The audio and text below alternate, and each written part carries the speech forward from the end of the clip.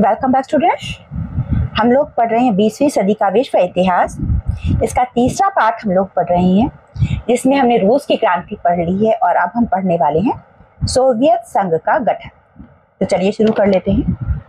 रूस में सोवियत संघ का जो गठन हुआ, इसको बनाया गया, ये बहुत ही महत्वपूर्ण घटना मानी जाती है बेटे, जिसने बीसवीं शताब्दी में वैश्विक राजनीति, यानी ग्लोबल पॉलिटिक्स पर और समाज पर बहुत ही गहरा प्रभाव पड़ा इससे दुनिया बहुत ज़्यादा प्रभावित हुई। इसकी बैकग्राउंड क्या थी? रूसी क्रांति पहले तो। अक्टूबर 1917 में बोल्शेविक पार्टी जो थी, जैसा कि हमने पहले पढ़ा, शांति भूमि और रोटी का नारा उन्होंने दिया था। इसके तहत उन्होंने विद्रोह किया और जार निकोलस द्वितीय के उनके शासन को खत्म कर दिया था। तो इस क्रांति की वजह से रूस में एक नई राजनीतिक व्यवस्था स्थापित हुई। वहाँ पर साम्यवादी सरकार आई जिसमें सोवियत संघ का गठन भी शामिल था। उनके एजेंडा में उनका ये नारा था कि हम सोवियत संघ का गठन करेंगे।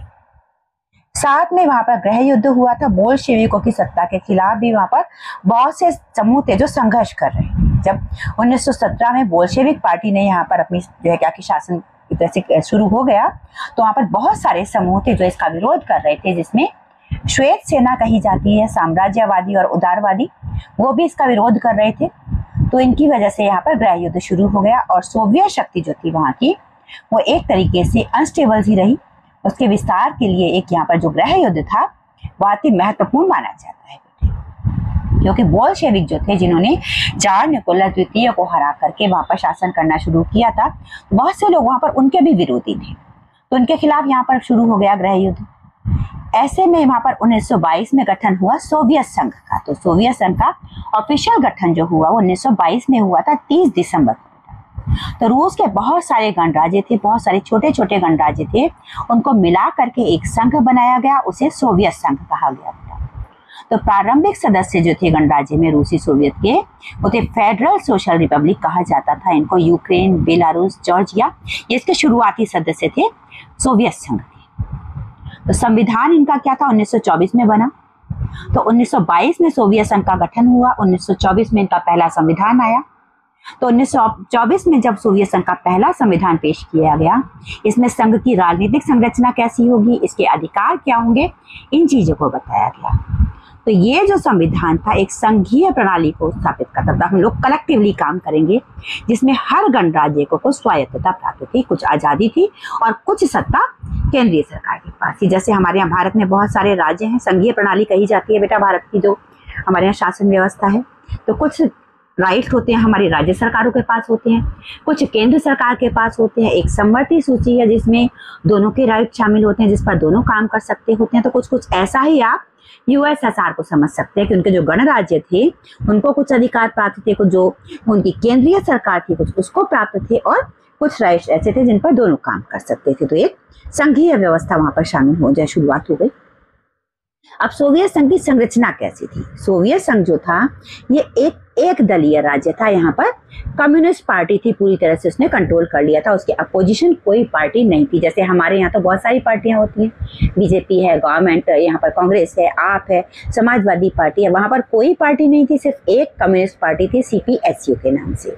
उसके अलावा वहाँ पर कोई पॉलिटिकल पार्टी नहीं थी। पूरा का पूरा सोवियत संघ एक ही दल का राज्य था। तो संविधान के हिसाब से सारी की सारी शक्ति सोवियत के माध्यम से जनता के प्रतिनिधियों के पास थी, जो कि इनकी एक, जो नारा था कि सारी शक्ति सोवियत के पास तो वही चीज़ यहाँ पर होगी जो वहाँ के लोकल परिषद थे, उनके पास सारी की सारी जो, वहाँ के जो जनता थे, जनता के जो रिप्रेजेंटेटिव थे, जो वहाँ से चुन करके आए थे या बिना चुने भी आए थे चुनने तो क्या थे जब पार्टी एक ही थी तो? उनके प्रेजेंटेड जो एक तरह से रिप्रेजेंटेटिव थे, उनके पास सारी की सारी ताकत थी, लेकिन निर्णय लेने का जो रियल जो अधिकार था वो पार्टी के नेतृत्व के पास था, यानी कि जो पार्टी का लीडर था, वही सारे के सारे फैसले ले सकता था। अर्थव्यवस्था कैसी थी यहाँ पर? सोवियत संघ ने समाजीकरण और योजना आधारित अर्थव्यवस्था को अपनाया जिसमें सभी प्रमुख उद्योग और संसाधन सारे के सारे नेशनलाइज हो गए, सभी के सभी सरकारी हो गए, सब कुछ सब चीज़ों पर सरकार का अधिकार हो गया। तो इस प्रणाली के तहत पाँच साल की योजनाएँ बनाई गई, जो कि इंडस्ट्रियलाइजेशन के लिए, कृषि उत्पादन के लिए बढ़ाने के लिए एफर्ट्स करती थी, कृषि उत्पादन बढ़ाने के लिए प्रयास करती थी और औद्योगिकीकरण को बढ़ाने के लिए प्रयास किया करती थी। ऐसी पाँच पाँच साल की योजनाएँ बनाई थी अब इनके सामने चुनौतियाँ क्या आई सोवियत संघ के सामने सबसे पहली चुनौती थी उनके सामने गृह युद्ध की। तो गृह युद्ध चल रहा था वहाँ पर, रशिया में। तो सोवियत संघ को आर्थिक और सामाजिक समस्याओं का सामना करना पड़ रहा था, जिसमें कि भोजन की कमी उनकी समस्या थी। औद्योगिक अवसंरचना की बर्बादी हो रही थी, सामाजिक असंतोष फैला हुआ था। तो ये सारी की सारी समस्याएँ उनके सामने थी। तो इन समस्याओं का सुधार करने के लिए वहाँ पर बहुत सी नीतियाँ लागू की गई, लेकिन ये शॉर्ट आउट हो नहीं पा रहा था। साथ में स्टालिन का शासन जोसेफ स्टालिन ने 1924 के बाद से सोवियत संघ को लीडरशिप दिया था। बेटा लीडर थे वो इसके। और अपनी नीतियों के माध्यम से उन्होंने क्रूरता और दमन को बढ़ावा। वो क्रुअल्टी वहाँ पर दिखा रहे थे। लोगों को सप्रेस करने की कोशिश कर रहे थे, लोगों की बात को दबाने की कोशिश कर रहे थे। उन्होंने बड़ी तेज़ी से इंडस्ट्रियलाइजेशन को और कृषि सामूहिकीकरण के कार्यक्रम को लागू किया। यानी कि इंडस्ट्रियलाइजेशन को बहुत ज़्यादा बढ़ावा दिया बड़ी तेज़ी से। और साथ में खेती किसी एक की नहीं है, सबकी है, यानी कि सरकारी है एक तरीके से। इस बात को उन्होंने बहुत तेज़ी से लागू किया, जिससे लाखों लोगों पर असर पड़ा। उनकी ज़मीनें छीन ली गई। और जब किसी की पर्सनल चीज़ कोई छीनी जाती है और कहा जाता है कि अब ये सरकारी है, इसको आप अकेले यूज़ नहीं करेंगे, सब लोग यूज़ करेंगे तो उसको बड़ी तकलीफ़ होती है। तो वही समस्या वहाँ पर आई, लोगों के मानव अधिकार जो थे वो छीन लिए गए एक तरह से लगभग। अब परिणाम क्या हुआ? इसका ग्लोबल इफ़ेक्ट क्या रहा? सोवियत संघ का गठन और उसकी नीतियाँ जो थी, इनकी वजह से वैश्विक राजनीति में बड़े बदलाव आए, जिससे शीत युद्ध की शुरुआत हो गई। शीत युद्ध शुरू हो गया सारी दुनिया में। शीत युद्ध एक लंबे टाइम तक चला था बेटा, उसके बारे में भी हम पढ़ेंगे आगे के पार्ट में। तो सोवियत संघ ने विभिन्न देशों में कम्युनिस्ट आंदोलनों का समर्थन किया। दुनिया भर में जहाँ जहाँ कम्युनिस्ट आंदोलन हो रहा था, उसका सोवियत संघ समर्थन कर रहा था। जिससे वैश्विक स्तर पर साम्यवादी विचारधारा का प्रचार हुआ। यानी कि अपने यहाँ तो सोवियत संघ में तो उनका था ही साम्यवादी विचारधारा कि सब समान है, सब एक जैसे हैं। इसके अलावा जिस भी देश में इस तरह की बात चल रही थी, वहाँ पर ये लोग सपोर्ट कर रहे थे। इससे सारी दुनिया में एक साम्यवादी विचारधारा का प्रचार होने लग गया। अब सामाजिक और आर्थिक परिवर्तन आए तो सोवियत संघ ने शिक्षा, विज्ञान और तकनीकी विकास ने बहुत प्रगति एक टाइम में अच्छी प्रगति की। हालाँकि इसके साथ ही सामाजिक असंतोष बढ़ता रहा।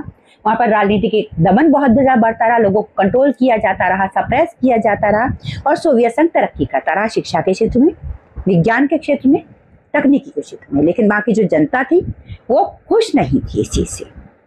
तो निष्कर्ष यही निकलता है कि सोवियत संघ का जो गठन हुआ था बीसवीं सदी में यह बहुत ही महत्वपूर्ण ऐतिहासिक क्षण था, क्योंकि जब सोवियत संघ का गठन हो गया तो इसने क्या किया? जितने भी देशों में कोई आंदोलन चल रहा था, उसको इन्होंने सपोर्ट किया साम्यवादी विचारधारा के लिए। इसकी वजह से सारी दुनिया में इनका एक दबदबा बना। बहुत से देशों की विचारधारा जो है बदली, बहुत से देशों में राजनीतिक बदलाव आए। इसकी वजह से न केवल रूस के भीतर, बल्कि दुनिया भर में राजनीति और समाज को गहराई से प्रभाव पड़ा। ये एक नई राजनीतिक व्यवस्था की शुरुआत इस तरह की राजनीतिक व्यवस्था इससे पहले कहीं नहीं थी। इसमें साम्यवादी विचारधारा के आधार पर सामाजिक और आर्थिक परिवर्तन की दिशा में प्रयास किए जा रहे थे साम्यवादी विचारधारा है, कोई बड़ा नहीं है, कोई छोटा नहीं है, इसलिए कोई अमीर नहीं होना चाहिए, कोई गरीब नहीं होना चाहिए। इस बात को ध्यान में रखते हुए समाज में सामाजिक और आर्थिक परिवर्तन किए जा रहे थे। और इसके साथ ही सोवियत संघ की जो स्थापना हुई, इसने वैश्विक शांति संतुलन में भी बहुत महत्वपूर्ण परिवर्तन लेकर के आई। ये बात जो कि आज भी बहुत सी जगहों पर बहुत ही महत्वपूर्ण रूप से देखा जाता है। दुनिया में बहुत सी जगहों पर इसकी वजह से शांति भी हो गई थी। अब सोवियत संघ का निर्माण और शुरुआती वर्षों के बारे में आपके सिलेबस में बताया गया है बेटा। तो जब इसका निर्माण हुआ बीसवीं शताब्दी की शुरुआत में तो इसके प्रारंभिक वर्ष जो थे, उनमें बहुत सी महत्वपूर्ण घटनाएँ हुई, बहुत सारे चेंजेस आए। तो इसकी वजह से बहुत सारे ऐतिहासिक, सामाजिक और राजनीतिक चेंज आए। पृष्ठभूमि थी इसकी रूसी क्रांति रूसी क्रांति की वजह से सोवियत संघ का यहाँ पर स्थापना हुई थी। तो रूस की राजनीतिक और आर्थिक स्थिति बहुत ज़्यादा खराब थी, जिसमें जार के शासन का अंत हुआ था। उस वक्त रूस की फाइनेंशियल कंडीशन पॉलिटिकल कंडीशन बहुत खराब थी। फरवरी 1917 में पहली बार जार निकोलस दो को उनके पद से हटाया गया था और वहाँ पर एक अस्थायी सरकार बनी थी टेम्पररी गवर्नमेंट बनी थी और अक्टूबर 1917 में बोल्शेविक पार्टी ने विद्रोह करके वहाँ पर जो अस्थायी सरकार थी उसको भी गिरा दिया था और एक साम्यवादी शासन स्थापित कर लिया। अब बहुत से लोग थे जो बोल्शेविकों को भी पसंद नहीं करते थे? तो इनके खिलाफ श्वेत सेना थी और बहुत सारे विरोधी समूह थे, उन सबने आपस में यहाँ पर विरोध करना इनके खिलाफ शुरू कर दिया, ग्रह युद्ध छिड़ गया। अब यह संघर्ष जो था, ये सोवियत शासन की स्थिरता के लिए और इसके विचारों के संरक्षण के लिए बहुत ज़रूरी था ताकि सोवियत संघ की स्थापना हो सके। इसकी वजह से ये संघर्ष चलता रहा। एक लंबे टाइम तक 1917 से शुरू हुआ था बेटे और 1922 तक चला था। अब 1922 में जब सोवियत संघ का गठन हुआ तो 30 दिसंबर 1922 को रूसी सोवियत फेडरल सोशलिस्ट रिपब्लिक मीतु से R S F S R का गठन हुआ। यूक्रेन, बेलारूस और जॉर्जिया ने मिलकर के एक संघ के रूप में सोवियत संघ की स्थापना की। यानी कि शुरुआती देश कौन कौन से थे? यहाँ पर शुरुआती गणराज्य कौन कौन से थे इसके? यूक्रेन, बेलारूस और जॉर्जिया। तो शुरुआत में इसके अंतर्गत चार गणराज्य थे, लेकिन बाद में और भी गणराज्य इसमें शामिल हो गए धीरे धीरे करके। संविधान आया इनका 1924 में संविधान पारित हुआ। इसने इनकी राजनीतिक संरचना को स्थापित किया कि हमारी राजनीतिक संरचना कैसी होगी, वही संघीय व्यवस्था होगी, ये बात कही गई थी। शुरुआती साल कैसे थे? शुरुआती सालों में इनकी आर्थिक नीतियाँ कैसी थी? इसे कहा जाता है एनईपी यानी कि नई आर्थिक नीति न्यू न्यू इकोनॉमिक पॉलिसी तो 1921 में गृह युद्ध के बाद की जो आर्थिक समस्याएँ थी, उनको हल करने के लिए व्लादिमीर लेनिन ने नई आर्थिक नीति का ऐलान किया न्यू इकोनॉमिक पॉलिसी तो इसके तहत छोटे व्यवसाय जो थे, उनको निजी स्वामित्व की अनुमति दी मतलब छोटे छोटे जो काम है, वो तो आप पर्सनल रख सकते हैं। लेकिन जो बड़े काम है, वो सारे के सारे सरकारी होंगे छोटे छोटे किसी के बिज़नेस है, किसी की छोटी सी इंडस्ट्री है तो उसे पर्सनली रख सकता था। बाकी जो बड़ी बड़ी इंडस्ट्री थी, जो बड़े बड़े किसान के जो खेत थे, वो सब कुछ सरकार के पास आ गया, सबका राष्ट्रीयकरण हो गया। इससे अर्थव्यवस्था में सुधार हुआ, खाद्य उत्पादन में वृद्धि हुई। राजनीतिक ढांचा कैसा था यहाँ का? एक दलीय राज्य था, जैसा कि अभी अभी मैंने आपको बताया। कम्युनिस्ट पार्टी ने पूरा कंट्रोल किया हुआ था, पूरा नियंत्रण किया हुआ था।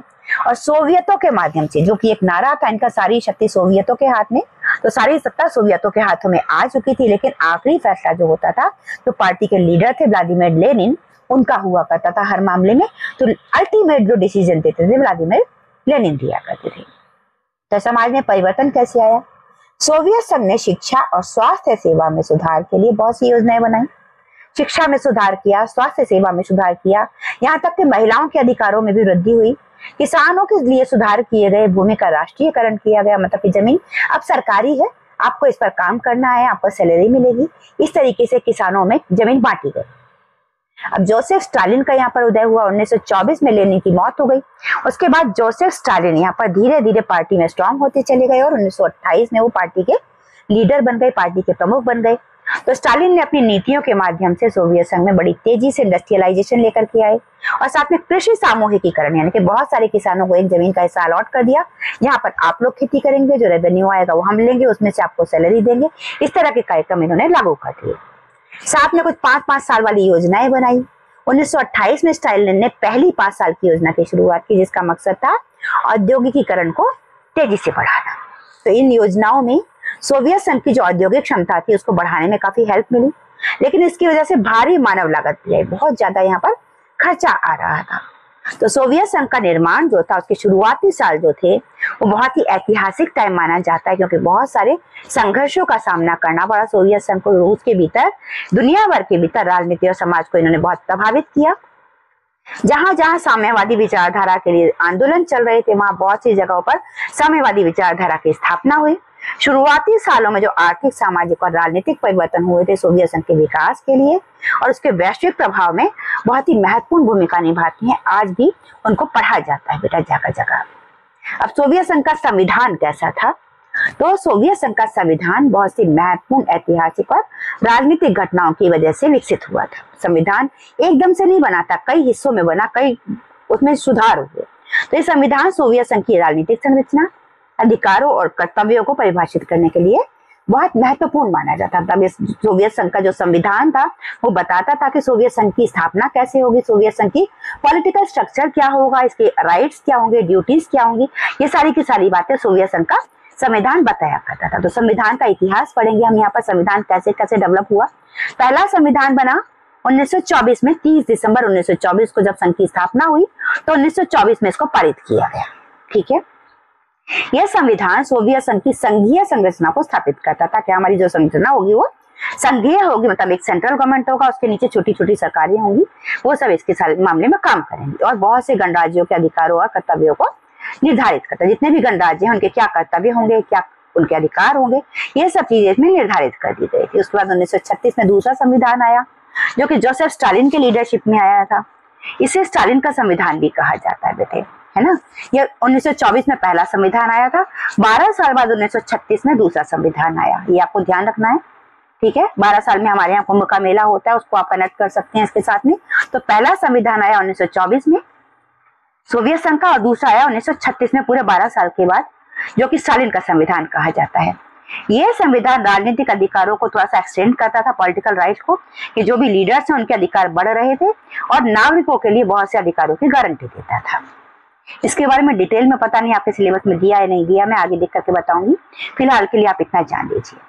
तीसरा संविधान आया उन्नीस सौ सतहत्तर में। तीसरा संविधान कहा जाता है जिसे ब्रेजनेव का संविधान कहा जाता है। ये संविधान सोवियत संघ की स्थायीता, यानी कि उसके परमानेंसी के लिए और उसके विकास के लिए नया ढांचा प्रदान करता था। तो तीन संविधान आए थे। पहला संविधान आया 1924 में, दूसरा आया 1936 में और तीसरा आया उन्नीस में। अब संविधान के प्रमुख तत्व क्या क्या थे? पहला तो संघीय ढांचा।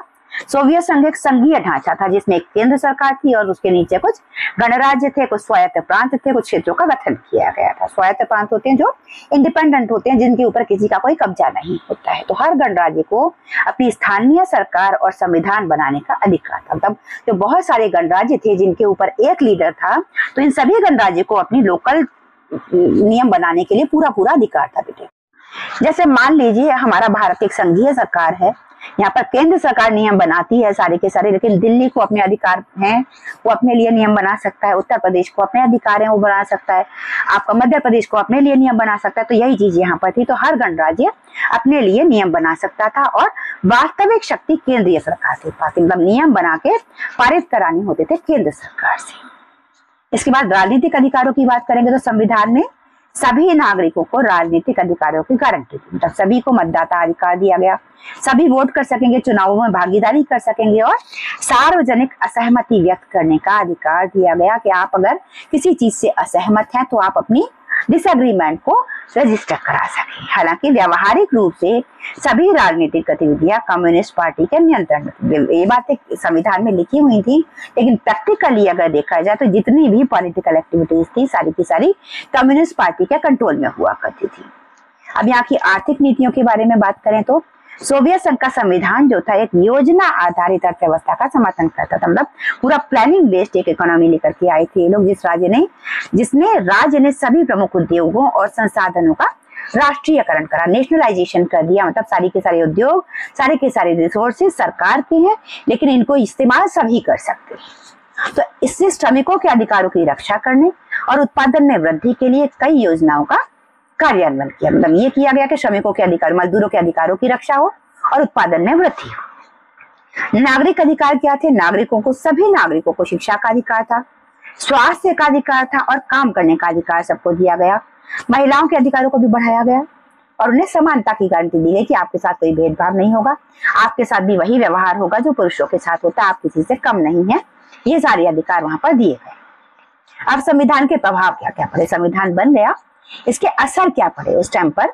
सोवियत संघ पर। तो संविधान ने सोवियत संघ को एक राजनीतिक ढांचा प्रदान किया, एक पॉलिटिकल स्ट्रक्चर मिल गया, जिससे एकल पार्टी शासन को मजबूती मिली। केवल जो कम्युनिस्ट पार्टी थी, वो मज़बूत हो गई इससे। हालाँकि, इसने विभिन्न प्रकार के दमन और मानव अधिकारों के उल्लंघन को भी जन्म दिया। इसकी वजह से बहुत तरह के दमन हुए कंट्रोल किया गया लोगों को। उनके जो ह्यूमन राइट्स थे, उनका भी वायलेशन कई जगह हुआ, क्योंकि एक ही पार्टी लगी लोगों के पास चूज़ करने का कोई ऑप्शन ही नहीं बचा। आर्थिक विकास हुआ। संविधान की नीतियों की वजह से सोवियत संघ में बड़ी तेज़ी से इंडस्ट्रियलाइजेशन हुआ, औद्योगिकरण हुआ, जिसकी वजह से आर्थिक विकास में काफ़ी प्रगति हुई। हालाँकि इसके साथ ही बहुत सी सामाजिक और आर्थिक चुनौतियाँ भी उनके सामने आ गई। लोगों के बीच में एक असंतोष बढ़ रहा था, लोग नाराज़ थे गृह युद्ध चल रहा था। साथ में सोशल चेंजेस आए पर। संविधान ने शिक्षा और स्वास्थ्य सेवाओं में सुधार के लिए काफ़ी पहले की थी, जिससे सोवियत संघ में सोवियत समाज में काफ़ी बदलाव भी आया। लोग शिक्षित होने लगे, स्वास्थ्य के लिए लोग कंसर्न होने लगे, लेकिन इससे व्यक्तिगत स्वतंत्रता पर अंकुश लगे। लोगों की पर्सनल इंडिपेंडेंस जो थी, जो उनकी व्यक्तिगत आज़ादी थी, वो कम हो रही थी। तो निष्कर्ष यही निकलता है इसका कि सोवियत संघ का संविधान एक बहुत ही महत्वपूर्ण दस्तावेज़ था, जिसने सोवियत राज्य की राजनीतिक, आर्थिक और सामाजिक संरचना को निर्धारित किया। राजनीतिक संरचना कैसे निर्धारित की? एक संघीय व्यवस्था वहाँ पर स्थापित कर दी। आर्थिक व्यवस्था कैसे की? कोई गरीब नहीं होगा, कोई अमीर नहीं होगा, हम साम्यवादी सरकार लेकर के आएँगे, सबको अधिकार दिए जाएँगे, सबको शिक्षित किया जाएगा, सबको हम स्वास्थ्य की गारंटी देंगे, सबको काम करने की गारंटी देंगे। और साथ में सामाजिक संरचना की कोई अमीर नहीं है, कोई गरीब नहीं है, सभी के सभी इक्वल है। इस तरह का स्ट्रक्चर उन लोगों ने निर्धारित किया। इसके विभिन्न संस्करण हमने तीन संस्करण पढ़े, सोवियत के संविधान के इनमें, टाइम के साथ, समय के साथ विभिन्न राजनीतिक और सामाजिक परिवर्तनों को दर्शाया। टाइम के साथ, समय के साथ अलग अलग टाइम पर वहाँ पर अलग अलग चेंजेस आते रहे। हालाँकि यह संविधान राजनीतिक अधिकारों और व्यक्तिगत स्वतंत्रता को सीमित करता था। इस संविधान की वजह से वहाँ पर लोगों के राजनीतिक अधिकार सीमित होते थे, व्यक्तिगत अधिकार सीमित होते थे, आज़ादी सीमित होती थी, जिससे सोवियत संघ के जो नागरिक थे, उनकी वास्तविकता और स्वतंत्रता पर असर पड़ा, उनकी आज़ादी पर इसका बहुत असर पड़ा। वो लोग फ्रस्ट्रेट होने लग गए और कहीं ना कहीं असंतोष बढ़ने लग गया। तो यह संविधान न केवल सोवियत संघ के अंदर, बल्कि वैश्विक राजनीति में भी काफ़ी प्रभाव डालता रहा, सारी दुनिया पर इसका असर पड़ता रहा। एक बीच में बात आई थी बेटा के लेनिन की मृत्यु हो गई थी और स्टालिन वहाँ पर लीडर बन गए थे। तो क्या हुआ था उस टाइम पर? उसको हम इस सेगमेंट में पढ़ेंगे। तो व्लादिमीर लेनिन रूसी क्रांति के जो कि प्रमुख नेता थे और सोवियत संघ के संस्थापक थे, जिन्होंने स्थापना की थी सोवियत संघ की। इनकी मृत्यु हो गई इक्कीस जनवरी 1924 को। इनकी मौत के बाद सोवियत संघ के भविष्य के लिए एक बहुत ही महत्वपूर्ण मोड़ लिया गया, जिसमें कि जोसेफ स्टालिन को लीडर चुना गया। धीरे धीरे लेनिन की जब मौत हो गई 1924 में तो स्वास्थ्य समस्याओं की वजह से हुई थी बेटा। लेनिन के बारे में आपको मैं बता रही हूँ कि लेनिन की स्वास्थ्य स्थिति 1922 से ही धीरे धीरे बिगड़ने लग गई थी, उन्हें कई स्ट्रोक्स आए, जिससे उनकी शारीरिक और मानसिक क्षमता, उनकी मानसिक मतलब की फ़िज़िकल मेंटल एबिलिटी कम होती चली गई धीरे धीरे उनकी फिर मृत्यु हो गई। उससे पहले उन्होंने राजनीति से संन्यास ले लिया था, लगभग बहुत कम एक्टिव हुआ करते थे। तो राजनीतिक विचारधारा?